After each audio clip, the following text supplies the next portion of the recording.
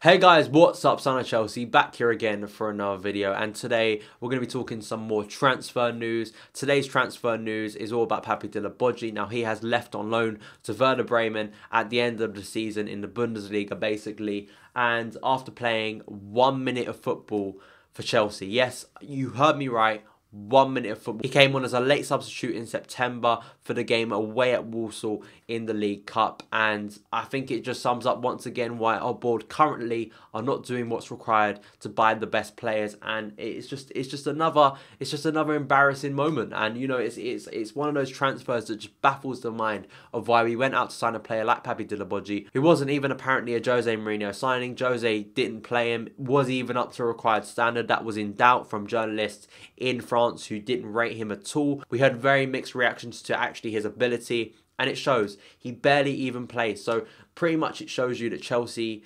wasted a signing in Papy Djilobodji. Papy Djilobodji is going to go out to Werder Bremen. I can't see him ever playing for Chelsea again. And it's another one of these situations of where Chelsea's recruitment recently under Michael Emenalo just simply isn't good enough. It isn't up to the standard we require. Now, you can't play Papy Djilobodji. He came to Chelsea. He thought this is a big club. I'm going to come here, maybe get an opportunity. So you can't really blame him. You've got to blame the board and the fact that they have bought a player who's barely even featured for Chelsea. And it, it just sums up that Chelsea have no long-term plans. They it's, For me, that's the way I see it at least.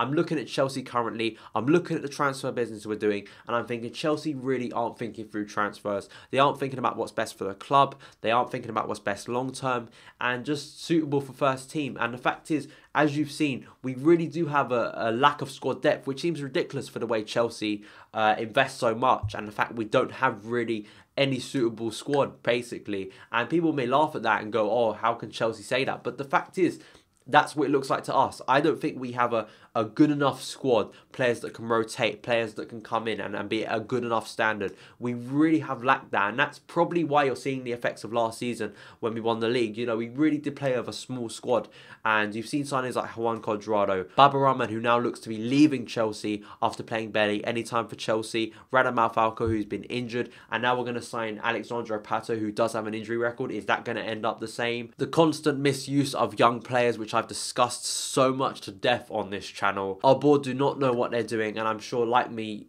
like you guys are watching here, you you share a lot of the frustration for me and it's just it's it's as I say it's it's frustrating it's worrying especially when we've got this massive summer coming up which I really do think is going to be a key summer for Chelsea. They have to get it right. We're just throwing money at players that maybe will work may not get injured and having a maybe approach to players for me just simply isn't good enough. We have to be buying players that are proven that are Premier League level that are a good enough level to play for Chelsea. Really once again it's just a sign of a player who basically shouldn't be at Chelsea and another bad signing by board, which seems to continue. So that's the that's the frustrating thing at the moment, guys. But guys, in the comments below, let me know your opinions on Papy Djilobodji.